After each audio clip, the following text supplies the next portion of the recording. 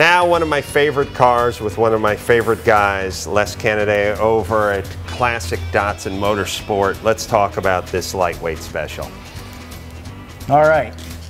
When I ran into you up at Monterey about three or four years ago, Mm-hmm. you told me you wanted to find a roadster. Well, first you said, "Where can I get a good whorehouse?" I, I needed, And I didn't needed know Monterey very well, Right. So, so I said, yeah, "All right." So I, I pointed him in the direction of what I thought was a good rub and tug, and then he said, "Let's talk about roadsters." Yeah, that's right. Because usually we talk about cars. Right. So uh, after Monterey, a couple months, we we found this, and we had done some research on it a, a year previous to this car coming up again. And we kind of were dubious of the, the quoted history of the car. Mm-hmm. And as we were able to research it, and again, luckily get a hold of some of the real BRE people, we found out that this was the car that was always in the story that Pete Brock had been given a factory lightweight car. They got it to the shop. They weren't doing roadsters anymore by 69. They were almost done with the BRE roadsters and they were going to be for sale.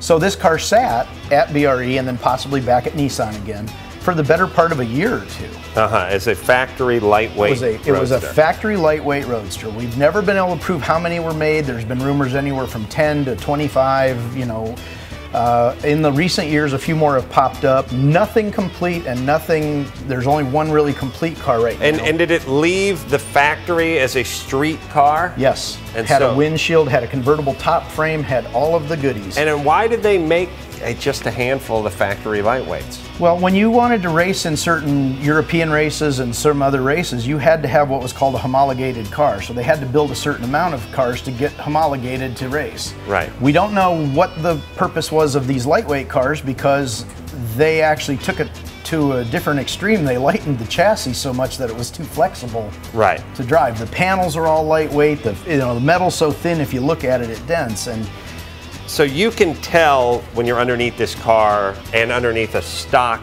Datsun Roadster Yes. that this is a lightweight totally version. different. Yeah, the chassis are different. So it's, a, so it's the lightweight version, and somehow it ends up at uh, Craig Breedlove's brother's place. Yep. Uh, the one the the car went to an employee of BRE in the '72.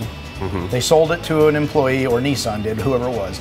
They sold the car to an employee, and the BRE guys got involved and sent tons of parts to this guy. And he moved back to Utah, and he got involved with building the car, finishing it for the '73 season, allowing it to have the different roll cage, the big flares, which you're not allowed normally. So Right. by '73, this car was running in the Colorado, Utah, you know that. And these are. VW flares. these right? are VW fenders, completely fenders. grafted into the original and Datsun fenders. steel, steel, fenders, yeah. fenders, VW. Steel fenders, bonded in and grafted. Very nicely done, by the way. yeah. And where does Breedlove factor Um, in? And, and by the way, Breedlove's the guy who was the Bonneville Flats. I think he had the world record until the goddamn Brits took it away from us. Right, by the way, and and Breedlove tried just before the Brits, and his car kind of did another one of those real 600 mile an hour. Uh, well, he was driving Circles. a bone stock Chevy Cavalier. He And lit, too. He, yeah, it. he He took was- out the headliner and the back seat. that's it. And he put it. some duct tape over the over the front. He took off the windshield wipers, put duct tape over the over the was it. headlamps, and That he said, it. "I'm going." I'll tell you what went wrong. The NOS. He Yeah. should have. He needed the Nas.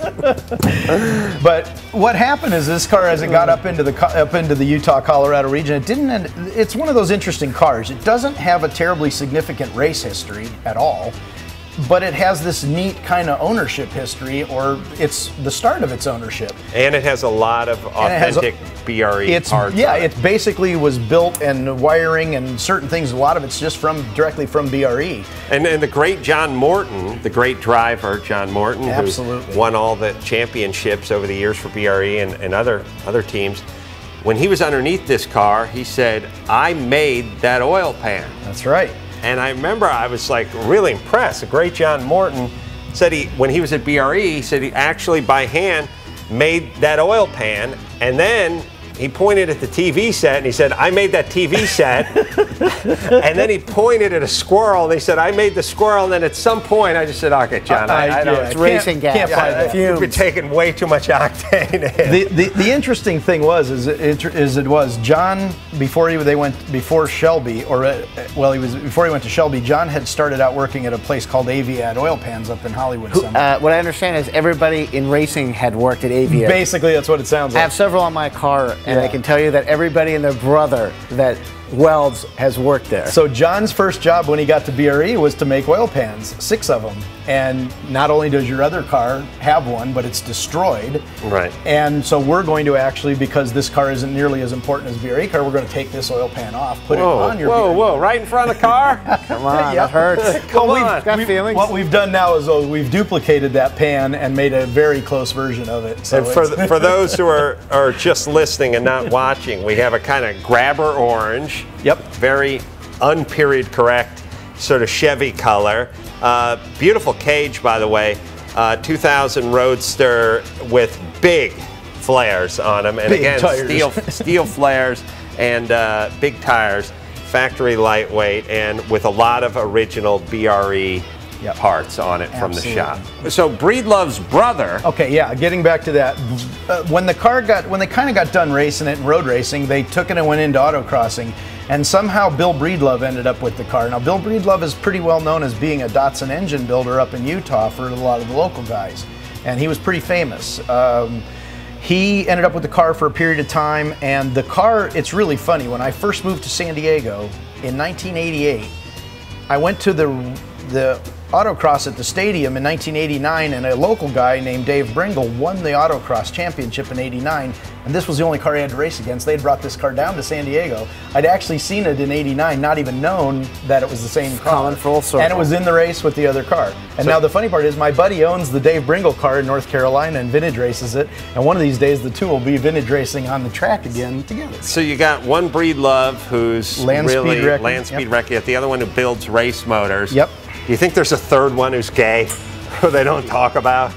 No, but the guy, the wicked. but the guy that sold you the 510, he's married to the uh, another Breedlove, the daughter or the cousin of both. Yeah. Wow. she builds trannies. All right. She was rumored to honest have one of the two 959 Porsches that were ever sold in the U.S., or they had both of them at one time. Jesus Christ. That were in this country, and they were here in Vista. All right. So, uh, Les, thanks for the uh, update, by the mm-hmm. way, and the knowledge on the rare yet compelling and interesting factory lightweight 2000 Roadster.